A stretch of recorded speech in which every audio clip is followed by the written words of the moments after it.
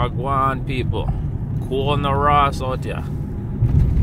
Anyways, making this quick one called Doing Business with Family Members. This is just my experience, but you know that old saying says never good to do business with family members. Well, I'm gonna tell you my bad experience I had. Like I said, me and my brother used to have a handyman company. I don't know if I talked about this, but going more details. We used have a handyman company. So basically, since I was working my regular job and doing that part time, and this and doing the business was his full time, I was like, all right, dude.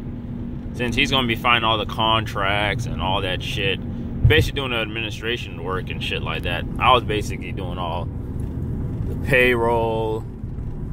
Um, basically, I was just the financing. I was doing all the finance part. Simple as that.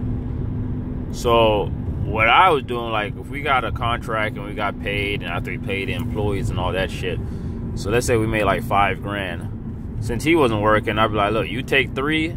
If we made five grand, I'll say, look, you take three grand, and I'll take two. I mean, I think that's fair because everybody plays a role when you have a business, especially as a family. It was just me and my brother, anyway, me and my older brother. So, anyways, as we're doing that, everything was good. Yeah, we're making money and shit, but my older brother started getting greedy and shit. He started, well, I'm doing all this contract, find the contract, this and that. But I was like, dude, without the money, none of this shit would even start. If I didn't finance none of this shit, we wouldn't even be here. So, motherfucker started getting his feelings and shit. And he just stopped doing it.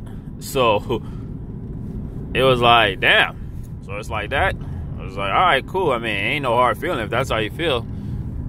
Shit, but I mean, I ain't gonna bow down no bitch. Bow down like no bitch. So it's like, okay, if that's what you wanna do, that's cool. We ain't gotta do the shit no more. But the good thing about it is that I learned basically how to start a business, what to do to get clients, and all that shit. So I mean, it was a good experience, even though it ended it bad. I still fucking learned some shit more about business. You know, getting a business license, all that other good shit that you need to get. You gotta go to county, start a business, do a LLC. That's how these rich fuckers don't pay so much in taxes. Cause when you get the LLC, limited liability, I think it's core um company or corporate corporate some shit. But basically, it's good to get an LLC because basically it's limited liability. So if anything goes down, they'll sue your company and not you. So any assets you have, you will keep it. They'll just sue for whatever your company has, and that's how these rich fuckers get away with paying cheap ass taxes because everything is a write off in their business. So that's why they always tell you it's good to start a business. Start a business, anything. Anyways, I gotta start mine back up. Well, start another business I need to do. But yeah, that was just my quick experience on doing business with family.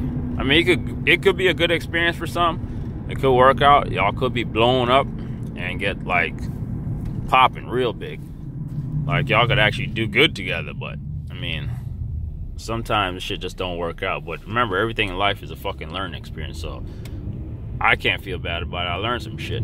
But I'm gonna holler at y'all. Keep pushing. Peace.